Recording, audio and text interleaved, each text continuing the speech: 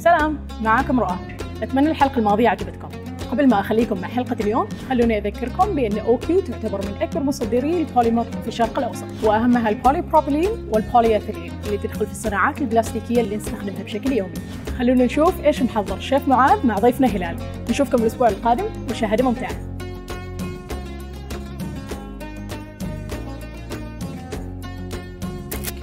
لإعداد ثريد عماني بالسمك وعيش أبيض مشفول أتبع الخطة كما يلي. مرحبا مليون. لكن في البداية علق سنارتك.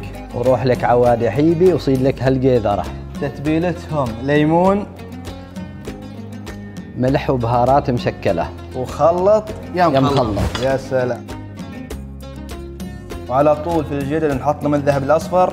حط لك من البصل كثر ما حصل. ومن الثوم متروم وهذا هنحس والله. صاكاري كاربته وخلط يا مخلط مرة نقره بهارات برية. وقنابل ذرية. هذا علاج البرد. مرة هو.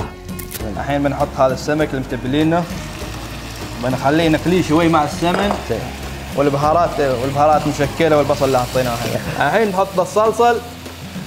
وثلاث لوميات في القول. مضمونة يا حق.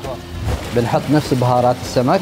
سلام ونمرق للحين نخلي نخليها تبكبك شوي ها كم بكبك دقائق كمين نص ساعة 20 دقيقة وأمورها منتهية. وأمورها طيبة. طبعا وصفتنا هي ثريد سمك لكن عشان ما يبي الثريد بنسوي له عيش مشهول اصوب والعيش المشهول ما يباله تعلوم شوية دهن بهارات حب وملح. وملح يا سلام. ونحط له من ذا العيش المخرس. والمغسول مغسول صالونة الجيدر ما تبى نار وايد نقتل عنها النار الحين بعد ما كملت ثلث ساعة وندري فوق هذا الحشيش الاخضر ومع الصالونة أكيد اللومة رقم واحد يا سلام اسميها ضبطت إيه مرة اسمها فيه فلفل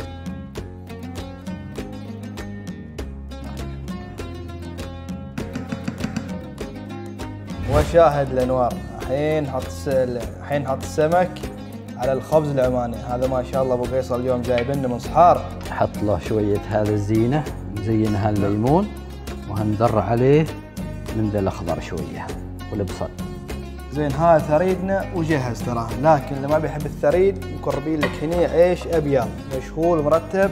شو تسوي فيه بالضبط؟ حط له من ذا الصالونة رشة سمن امورك العجيب. يا سلام وأهم شيء عصرة الليمون فوق. أكيد ضروري. وعن يزعل علينا ذا الصحن نحط له شوية من زينة. الغاوية. وأكيد. العيش الابيض ويا السمن؟ تأخروا علينا الجماعة اليوم عشان الأذان. الله أكبر الله أكبر. يلا، بسم اذن. تراهم أبو قيصر أذن. يلا بسم الله. حتى من كثر ما عقيل ما شاء الله عشان يتسحر نفصل لنا مرة السحر. مجهزنا. بسم الله. بسم بالله توكل على الله. طايحة الأمور عادة.